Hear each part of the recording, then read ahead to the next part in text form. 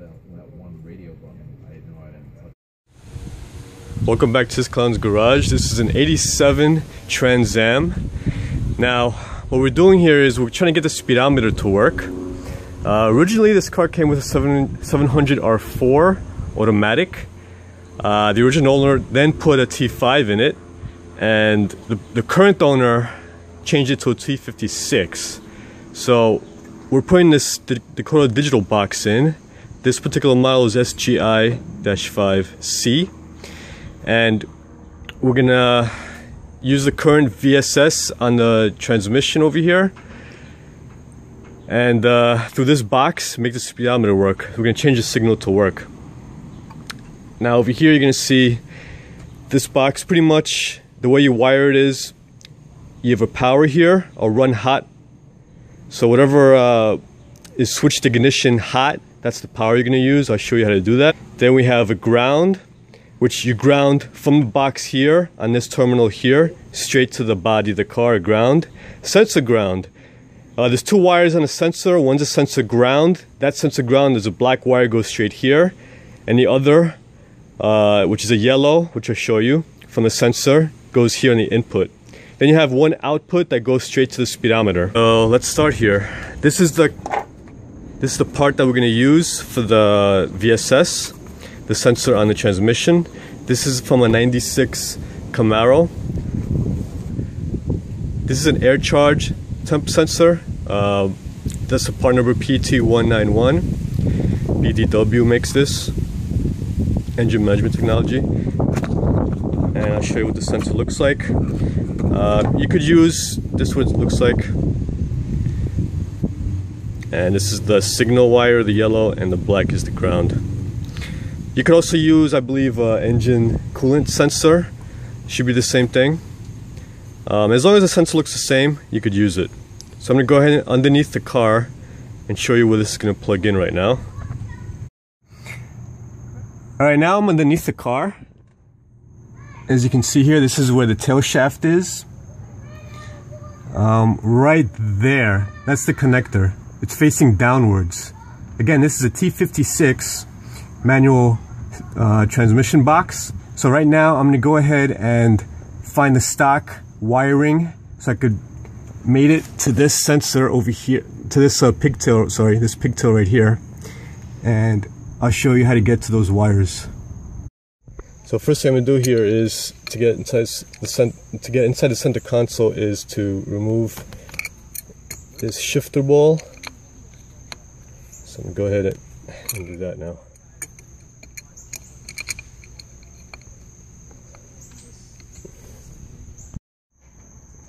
Next order of action is a screw here, screw here, and there's a screw right in the middle over here where the ashtray is, but it's out already. So I just basically have one screw left here. This whole thing pops right off.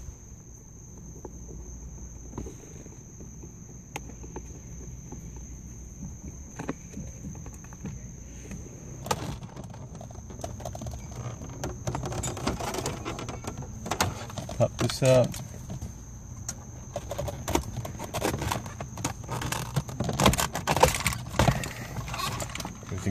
Pops out.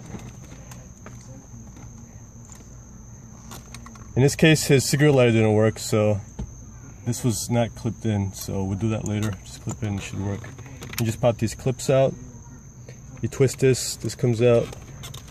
You pull these off the side, pull it down.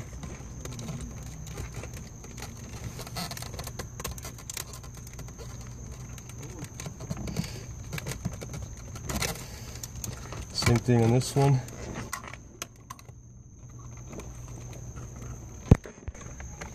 And this last one here, just gotta pry it off.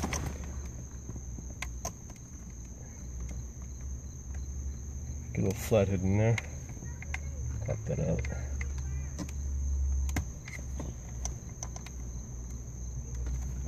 Push the other side back. Pull out like that. That's the center console comes out.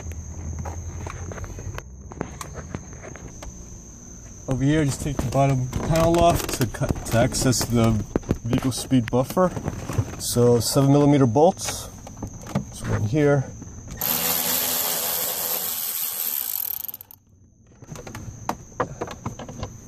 One here.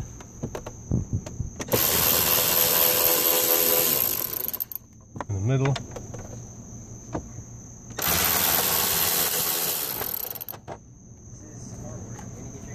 Another one in the middle.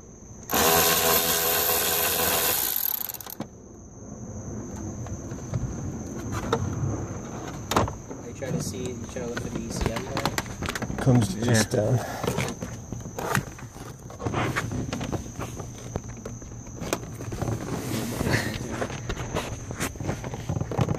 And this yellow box here Let me see it. is the vehicle speed buffer. I'm gonna connect these wires here now. So I'm just gonna strip these, put some heat shrink tubing on them. These are 12, 12 gauge.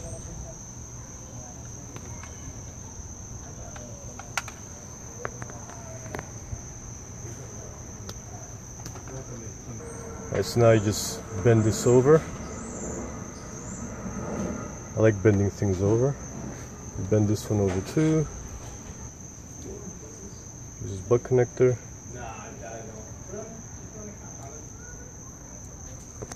Twist it in.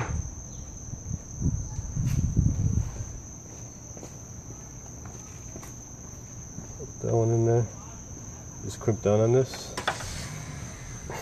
You do it where it says insulated. Tug on it, it's good. Give it one last tug, then I'm gonna heat shrink this down.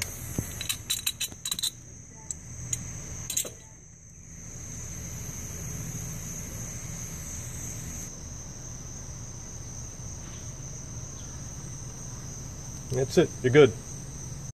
I'm gonna put this grommet in where the shifter boot is, so it goes down to here on a step drill. So I'm just gonna put the tape so I know how deep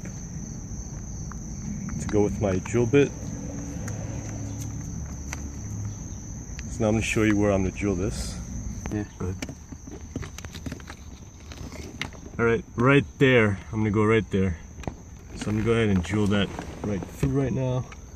And that plate. So we checked underneath and there's nothing in the way underneath. So it's a perfect spot.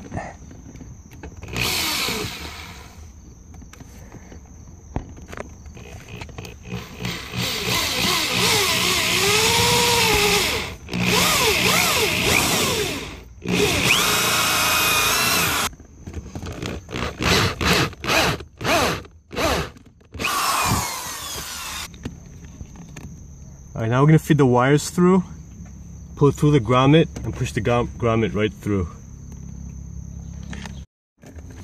And it went right through. Just pushed it in. Right there. Yep. Right there. feed it slow so I can just guide the wire up. That's it. Perfect.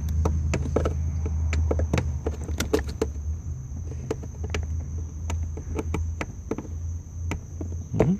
And we're good. Okay. Grommets in, wires are through. Alright, so under here, you see that's where I uh, connected the connectors right there. And the speed sensor is right there. It points downwards. And I just zip tied it here and ran it all the way through here. And that's where it goes to the grommet. Right there. We're using aluminum tape used for Shield. as a shield for no interference. They use this on duct duct duct work. So we're just gonna wrap it up. The two wires from the sensor. Alright, so we just fed it through here, along there. Now pull it through there.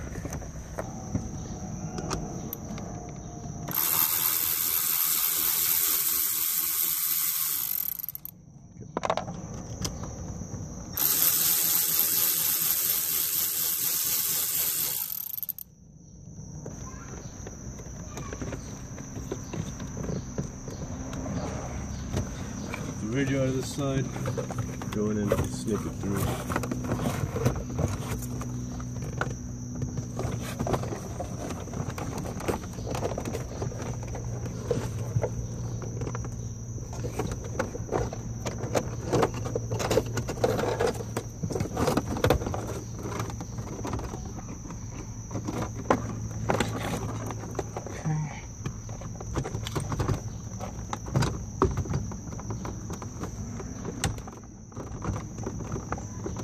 There's like a Dow plastic keyway.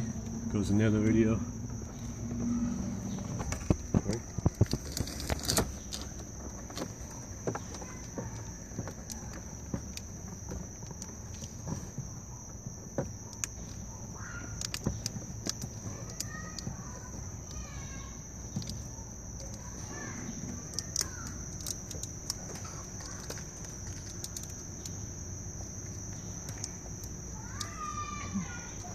With the black tape on it? So, Mr. Master Electrician here, George, will uh, explain to us how this, v- this VSS buffer works and what we're going to do here. All right, this is a fairly simple device. Okay, uh, a VSS buffer is just something that converts the analog sig- signal to digital signal. Okay, so any car that has a digital dashboard or a digital signal into the fed into the odometer and the speedometer, um, the processor chip needs a square wave signal, and the way to know the difference of the square wave and analog wave from the actual sensor itself is pretty simple. There are only three sensors in the world that actually can rotate, get, can actually measure rotational speed. So you have your VR sensor, which is a variable reluctance sensor. You have a Hall effect sensor, and you have a optical sensor. Okay. Now the optical sensor and the Hall effect sensor are both a square wave sensor. So what that means is that the output signal of the of those sensors will be from zero volts to a, to either a five or a 12 volt signal, depending on the sensor itself.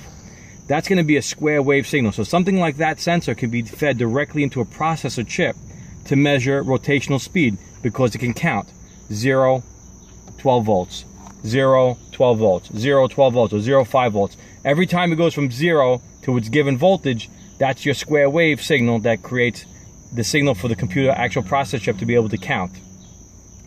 Okay? Now, those two sensors, you can easily identify them because they'll have three wires. You'll have a power wire, you'll have a ground wire, and then you have an output signal wire. The output signal wire will be the wire that sends your square wave signal to your processor chip. Okay?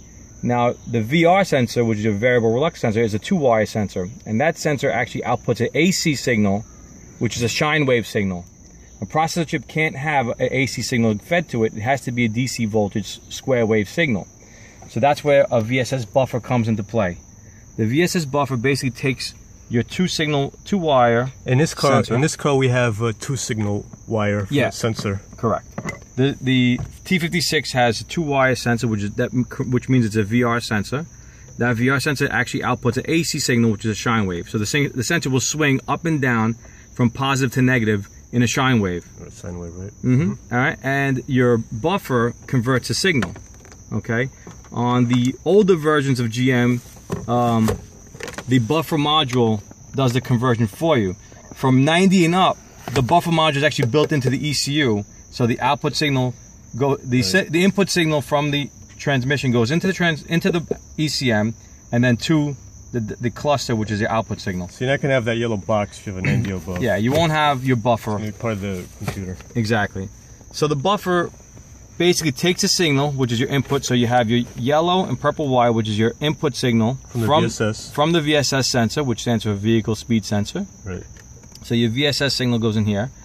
Okay. Now remember, it's it the polarity really does. You need to check when you hook the sensor up. It just switch the wires around for the to get the correct polarity. Um, but that's fairly simple to do. And you can't really affect the module by turning, you know, from hooking it up the wrong way. Um, but the output signal will be reversed. You could just switch the wires back around. Uh, the module itself converts it. Now, this one, you'll notice a lot of wires on the output signal, and that's because for some odd reason, GM has two output signals. One is for the cruise control, and one is for the uh, actual odometer and speedometer. Okay, so on this particular unit, the green wire, the green wire goes to the odometer, and this is your output signal. The brown wire is your uh, is your imp, is your output signal that goes to the ECM to tell the ECM how fast the car is moving. It also helps uh, control the lockup solenoid for the transmission. Your red wire is fed for the cruise control. So the difference between the cruise control output and the and the odometer output is one is a 4,000 pulses per second, all right, and the other one is a 2,000 pulse per second. Okay, and the black wire is your ground wire. Go. Okay, I apologize. Not pulses. It's not pulses per second. It's pulses per minute, ppm. Okay, so you have uh, a 2,000 and a 4,000 pulses per minute. The only the only one we're really worried about is is, the- is the gauge because this car no longer has an ECU. Um, this is now controlled by a, a DFI system. Uh, so we're going to wire the T56 sensor into here, and this is going to create the, the square wave we need, and then we're going to wire in the di- digital decoder to manipulate the pulses per, per minute to get the correct speed reading through the actual speedometer. Power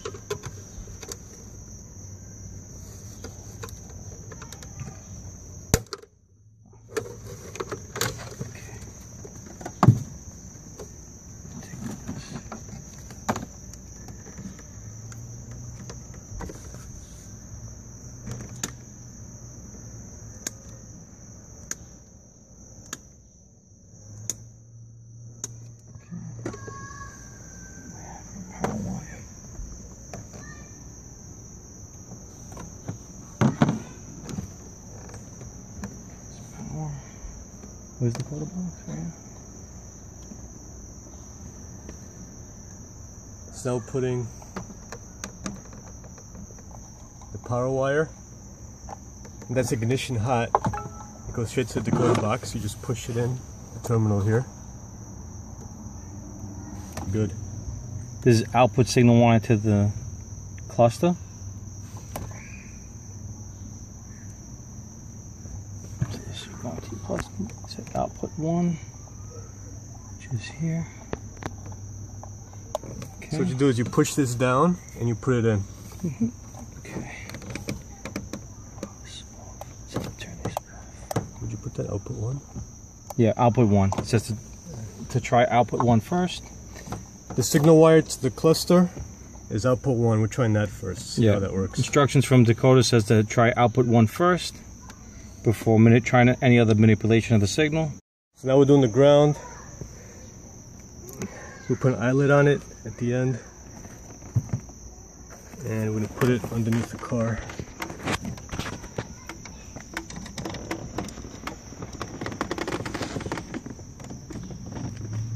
okay. I'll show you what that looks like once he tightens the bolt.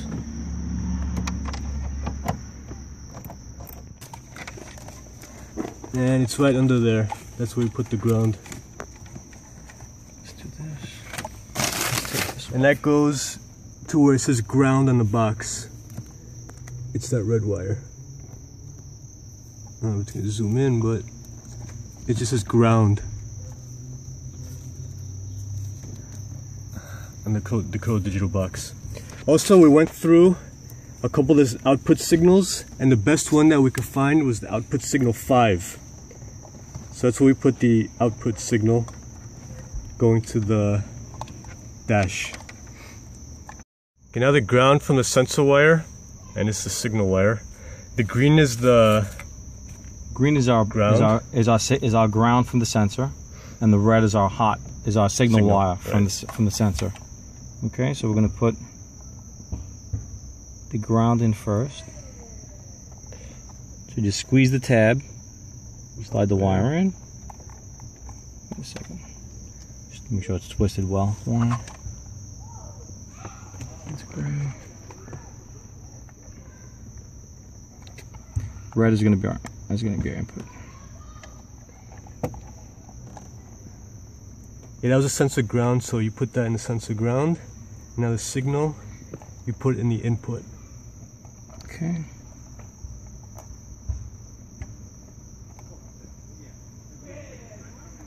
Perfect. Okay. And those are in good. Now the shield, the shield has to be grounded. But it only needs to be grounded on one side and only one side. Meaning the other side of this cable, where you started the shielding, Yeah. shouldn't be grounded anywhere. Shouldn't be touching the ground. Exactly. So what we're gonna do is we're gonna just attach. This is really a cheap way of making a shielded wire, but it works just as good as anything else. Actually, I've had better luck using aluminum foil to shield the wire. than some of the expensive shielded wire you go out and buy out there. So I'm just gonna ground it.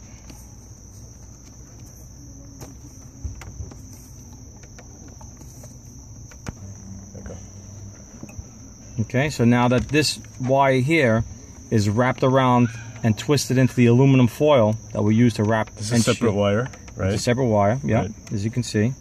And we're gonna attach this to our ground wire. We're using red wire only because we only had red wire at this moment. Yeah. So Make normally, black. yeah, normally it would be black. Just you know, colors really don't mean nothing as long as you know everything's hooked up correctly.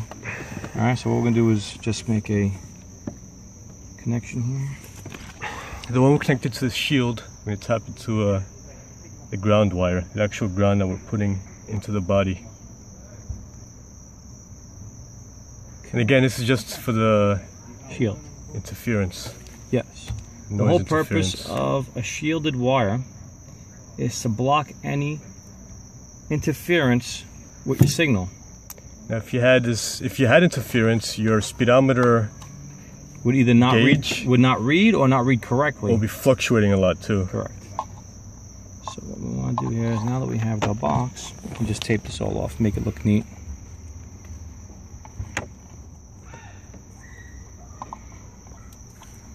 Off. Take a piece of wire and tape, tape it around.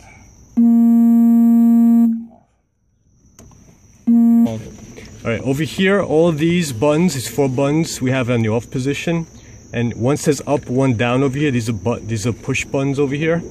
Now, when as you're driving, you would have uh, either a car next to you, going s- going um, same speed as you, and you they- they're gonna tell you how fast they're going. And you can press up or down to calibrate the speedometer. Or if you have like a GPS and it tells you exactly how much you're going, you can do it that way. So from the vehicle buffer, you need the green wire and you need the pink wire. Pink is power, green is output signal. That's pretty much it what you need from the vehicle speed the buffer and over here as we showed you the input is coming from the sensor the signal from the sensor. Uh, the sensor ground is the the black wire in the sensor. In this case I made it to green. And your ground is the ground wire we put here onto the body of the car. And that's it. Now we're gonna go out go we're gonna put everything back the way it was in here and just go on the street and calibrate this right now we're driving. What I did was I pressed the needle went all the way up when we started the car. We were driving around and went straight to 60 miles an hour. We were doing probably 20 so I just held down the down button here. And now we're at 53 miles an hour on the 51 miles an hour 50 sorry. This thing could go right. Yeah, it bounces, but bounce a little bit. 56 miles an hour on the GPS and we're reading about what is that 50 52, yeah. 52 so I'm just gonna I'm gonna hold the, the up button on this see if I could uh, push it up I'm gonna go ahead and do that now